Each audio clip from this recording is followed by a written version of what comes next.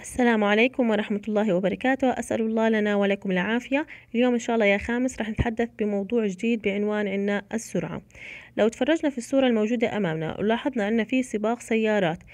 فالسيارة اللي رح تفوز هي السيارة اللي بتوصل لخط النهاية بالأول تمام؟ فبنحكي عنها هي السيارة الأسرع. طيب هل رح نعتبر إنه السيارة الأسرع مثلا اختصرت أو أو سلكت طريق عفوا مختصر عن باقي السيارات لهيك وصلت إنه مثلا لخط النهاية بالأول؟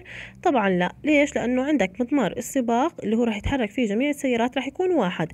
لكن شو الاختلاف؟ ليش إنه هديك مثلا السيارة وصلت لخط النهاية بالأول؟ بيكون لأنه مثلا إنه السيارة استغرقت وقت عندنا أقل من باقي السيارات للوصول عندك لخط النهاية مع إنه المسافة اللي قطعوها نفسها. لو فرض فرضنا إنه السيارة رقم ثلاثة استغرقت وقت مقداره ثلاثين ثانية. أما السيارة رقم سبعة استغرقت خمسة وثلاثين ثانية للوصول للوصول لخط النهاية. في هاي الحالة بنعتبر إنه السيارة رقم ثلاثة هي السيارة اللي بتفوز لأنها استغرقت وقت أقل من باقي السيارات. طيب لو كان فرضا في عنا شخصين بيعملوا مثلا سباق الجري شخص اسمه عامر وشخص اسمه أحمد وكان في مثلا الحكم وقت إلهم آه مثلا توقيت لمدة خمس ثواني فبده يعرف بعد خمس ثواني كل واحد فيهم قديش بيقطع مسافة. فلا نفترض بعد خمس ثواني لاحظنا إنه عامر قطع مسافة مقدارها خمسة وعشرين متر أما أحمد قطع مسافة عشرين متر. ففي هاي الحالة مين اللي بعتبره الفائز؟ هو عامر. يعني عامر رح نعتبره هو الأسرع. ليش؟ لأنه قطع مسافة أكبر في نفس الزمن اللي هو زمن عنا السباق. ففي هاي الحالة إحنا عرفنا أو تحدثنا بنلاحظ خلال الأمثلة السابقة إنه كنا نحكي أسرع. إذا نقصد إحنا هون في موضوع السرعة. ما المقصود عندنا بالسرعة؟ المسافة المقطوعة في وحدة الزمن. فبتلاحظ إنه هون عندنا المسافة اعتمدت على شغلتين اعتمدت على عفوا السرعة اعتمدت على شغلتين على المسافة وأيضا اعتمدت عندنا على الزمن. فالزمن والمسافة بنلاحظ إنهم آه لكل واحد فيهم في لهم وحدة قياس كيف مثلا الكتلة حكينا إنه آه إنه في لها وحدة قياس الحجم في له وحدة قياس فكل واحدة فيهم أيضا بالنسبة للمسافة والزمن بيكون في لهم وحدة قياس.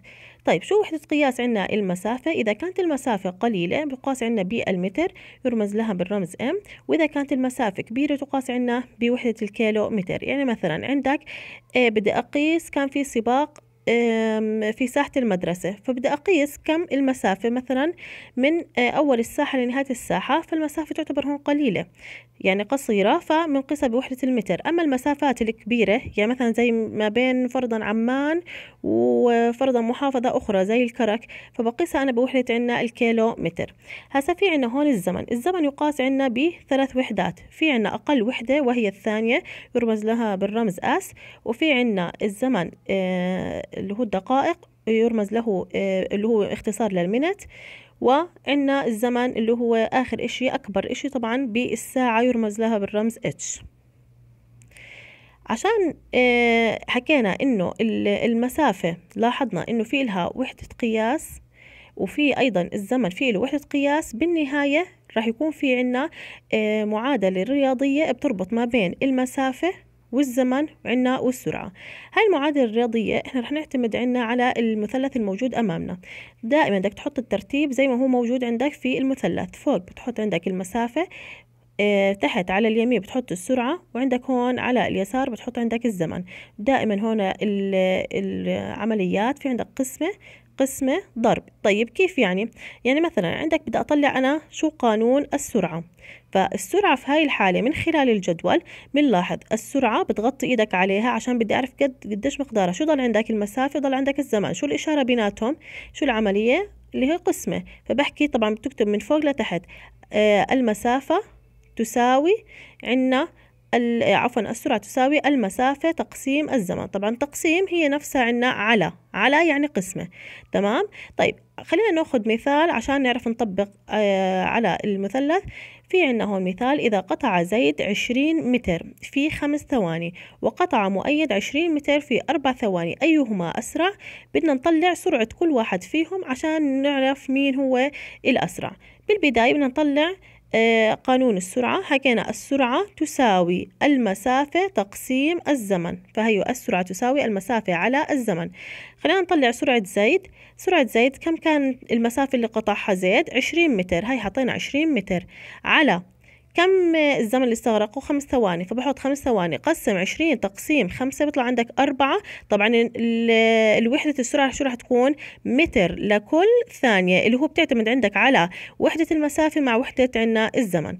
طيب خلينا نعرف كم آه، سرعة عنا مؤيد. سرعة مؤيد راح تكون أيضا المسافة اللي قطعها على الزمن اللي استغرقه. المسافة عشرين متر الزمن اللي استغرقه أربع ثواني فبتقسم عشرين على خمسة عفوا عشرين على أربعة فبيطلع عنا الجواب بخمسة متر لكل ثانية. ففي هاي الحالة بتلاحظ إنه السرعة آه، سرعة مؤيد كانت أكبر عنا من سرعة زيت. ففي هاي الحالة بعتبر مؤيد هو الأسرع. نأخذ أيضا مثال موجود عندكم في الكتاب مكتوب عندنا هون يمارس أحمد وعلي رياضة المشي. مشى أحمد مسافة 2 كيلومتر في 25 دقيقة ومشى علي مسافة 3 كيلومتر في 30 دقيقة. أيهما أسرع أحمد أم علي؟ بنلاحظ رح نستخدم أيضا عنا اللي هو مثلث آه السرعة.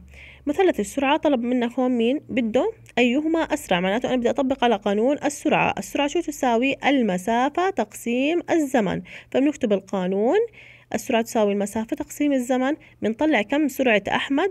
بنلاحظ إنه سرعة أحمد المسافة اللي قطعها عبارة عن 2 كيلومتر على 25 دقيقة. بتقسم فبيطلع الجواب معك تقريبا 8% كيلومتر لكل دقيقة. نطلع سرعة عنا علي. بنلاحظ أن سرعة علي المسافة اللي قطعها عبارة عن 3 كيلومتر في 30 دقيقة.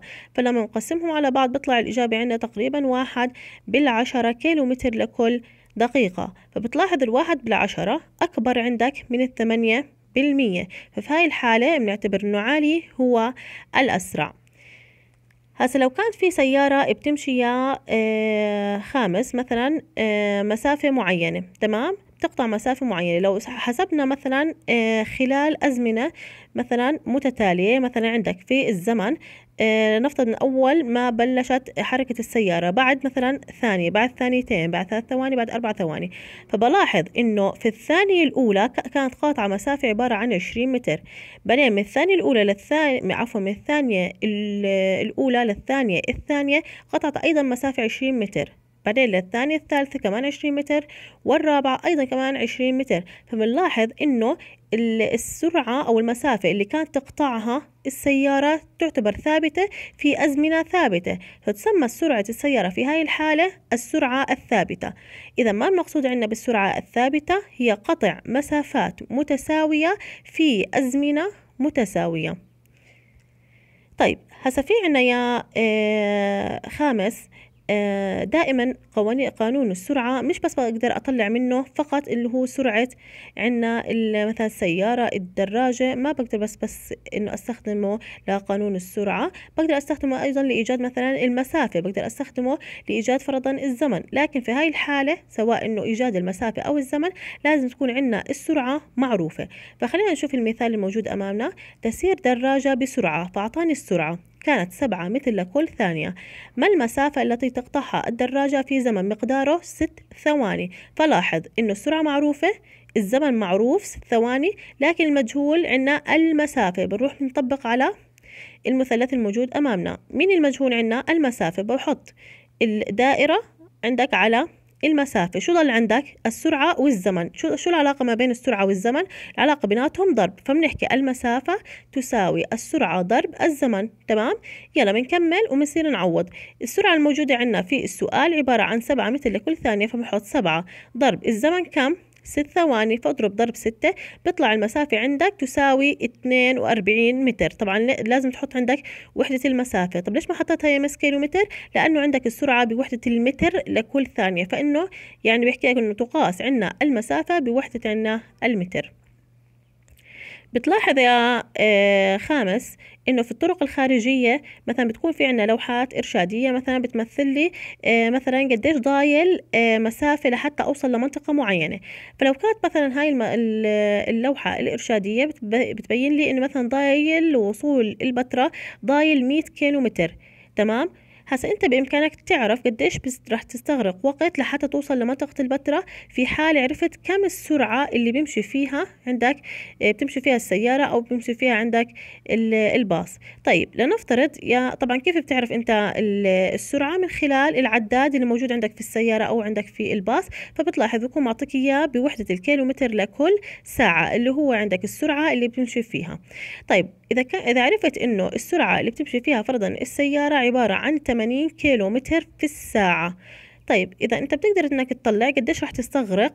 إيه لحتى يعني قديش راح تستغرق وقت لحتى توصل للبتراء لأنه السرعة معروفة والمسافة صارت عندنا هون معروفة. فبطبق عندي على المثلث بدي أعرف أنا هون الزمن. فبلاحظ حطيت دائرة على الزمن شو ضل عندي؟ ضل عندي المسافة والسرعة. طبعا نكتب من فوق لتحت. العلاقة بيناتهم اللي العملية بيناتهم عملية قسمة. فبحكي المسافة تسا... الزمن يساوي المسافة تقسيم عنا السرعة. فبنكتب القانون الزمن يساوي المسافة على السرعة. كم المسافة ضايل عندي هون؟ ضايل 100 كيلو متر. تمام لحتى أوصل البتراء. طيب كم السرعة اللي بيمشي فيها؟ 80 كيلومتر في الساعة. فبقسم 100 على 80 بيطلع عندي واحد فاصلة خمسة وعشرين ساعة. يعني ساعة وخمسة وعشرين دقيقة لحتى أوصل عندي مدينة البتراء. بضل معاكم واجب يا خامس. سؤال أتحقق صفحة سبعين؟ تسير سيارة بسرعة 12 متر لكل ثانية. ما المسافة التي تقطعها السيارة بهذه السرعة مدة 60 ثانية؟ فبلاحظ إنه عندك السرعة معروفة والزمن معروف لكن المجهول عندنا المسافة. السؤال الثاني أتحقق عندما أسافر بحافلة سرعتها 100 كيلومتر في الساعة وأكون على بعد 150 كيلومتر؟ من مدينة العقبة عند الساعة الواحدة والنصف ظهرا. فكم ستكون الساعة تقريبا حين أصل هذه المدينة؟ السؤال موجود عندنا بصفحة 71 استودعتكم الله الذي لا تضيع ودائعه. والسلام عليكم ورحمة الله وبركاته.